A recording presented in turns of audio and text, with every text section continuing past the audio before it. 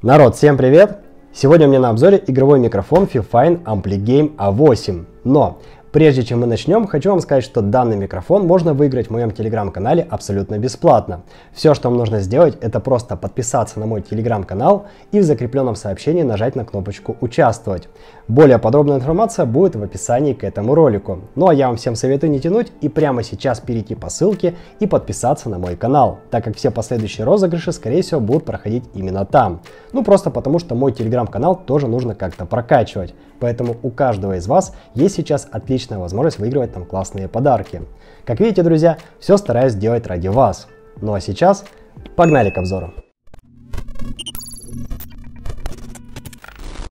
Перед вами, друзья, сейчас представлены два товара от компании Fifane. Первая коробка это микрофон AmpliGame A8 а вторая универсальная стойка для микрофона BM63. По комплектации микрофона мы тут получаем инструкцию, в которой сказано, как настроить микрофон в разных операционных системах. Далее у нас идет непосредственно сам микрофон с довольно неплохой штатной стойкой. Есть поп-фильтр из металлической сеточки, который можно при необходимости быстро установить или убрать. Также сюда входит кабель с USB-C на USB-A правда почему-то черного цвета. А было бы прикольно, если бы компании не ленились и вкладывали провода в цвет микрофона, а то белый микрофон и черный провод, ну, смотрится как-то не очень. Еще также в комплекте идет у нас специальный адаптер для установки микрофона на подвесную стойку. Как его установить мы тоже рассмотрим в этом видео. Ну а в комплектацию так называемого пантографа входит сама стойка, зажим для стола, держатели для проводов в виде лент с липучками и небольшая документация. Теперь что касаемо микрофона. Он выполнен в довольно интересном игровом решении и выпускается в четырех цветах. Черный, белый, розовый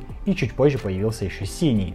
Микрофон, а также его стандартная стойка выполнена полностью из пластика. Однако по ощущениям нижняя часть довольно тяжелая. Видимо внутри там зафиксирован какой-то металлический диск для того, чтобы микрофон был более устойчивый на столе. У микрофона имеется довольно красивая RGB подсветка, которую можно настроить полностью под себя. Для этого на задней стороне микрофона расположена сенсорная кнопка. Чуть ниже от нее есть регулятор громкости микрофона. Ну а сверху имеется еще одна сенсорная кнопка, которая позволяет быстро выключить либо включить звук микрофона. Это особенно актуально во время стримов. В нижней части на микрофоне имеется разъем питания USB-C и разъем под наушники 3,5 мм. Из полезного в комплектацию с микрофоном помимо стойки идет еще так называемая амортизирующая система Паук, которая предотвращает посторонние шумы от рабочего места. Теперь давайте поговорим по поводу стойки, которая продается отдельно. Если сравнивать ее с моей прошлой стойкой, хочу сказать, что она выполнена более надежно и из какого-то более крепкого металла. Потому что моя прошлая стойка была какая-то очень простая, как от обычной настольной лампы. На каждом изгибе там были некие пружины и специальные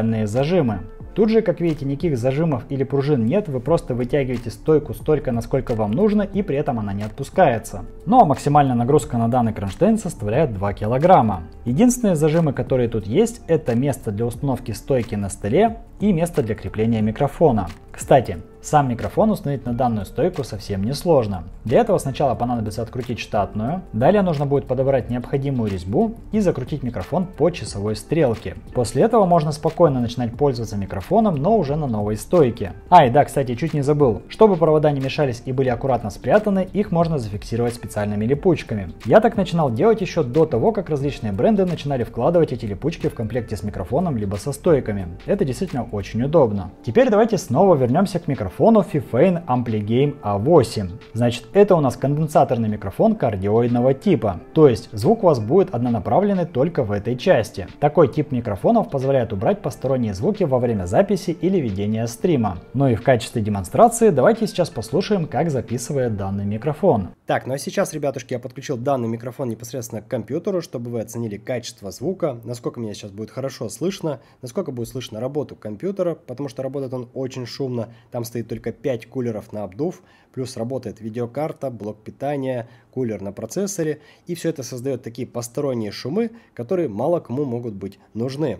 А, я же вам сейчас сразу хочу сказать то, что никаких улучшалок или увеличения громкости в своих тестах с микрофонами я никогда не применяю, потому что, ну, понятно, там, где я снимаю на петличку, там как бы я все задействую. В таких тестах я убираю музыку, убираю все улучшения, чтобы вы оценили стоковое звучание микрофона. Сейчас, друзья, я предлагаю сделать некие регулировки, чтобы вы посмотрели, как будет меняться уровень громкости, качество звука. Вот. Ну и тут делайте уже выводы, как говорится, в комментариях. А, микрофон у меня сейчас стоит на расстоянии где-то 15 сантиметров. Давайте попробуем отодвинуть его подальше. Значит, вот так вот у нас будет меняться громкость. Я говорю обычным стандартным своим голосом, без, так скажем, э, криков каких-то оров, потому что я, ну, как обычно вот говорю в жизни, вот, вот так вот. Не сильно тихо, не сильно громко. Вот, если пододвинем микрофон к рту, то будет вот это, ну, будет слышно вот так вот. Попробуем снять сеточку, послушаем, как будет меняться громкость. Я без сеточки микрофон данный не использовал, поэтому мне тоже будет интересно послушать. Ну, собственно, вот такое вот у нас качество звука. Раз, два, три, четыре, пять. Вышел зайчик погулять. Давайте вернем сеточку обратно и послушаем микрофон, если будем его вертеть по часовой стрелке. Значит, давайте что-нибудь... Ну, давайте, наверное, так же. Раз, два, три, четыре, пять. Вышел зайчик погулять. Вот. Вот так вот мы его отвернули полностью от себя. То есть сейчас вот эта часть направления звука, она направлена уже как бы на вас. Давайте еще повернем дальше. Раз, два, три, четыре, пять. Вышел зайчик погулять. Вот так вот у нас меняется громкость. Разворачиваем еще раз обратно, потому что у нас перекрутился кабель.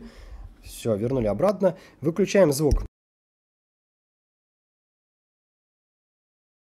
Включаем звук обратно, звук у нас появился.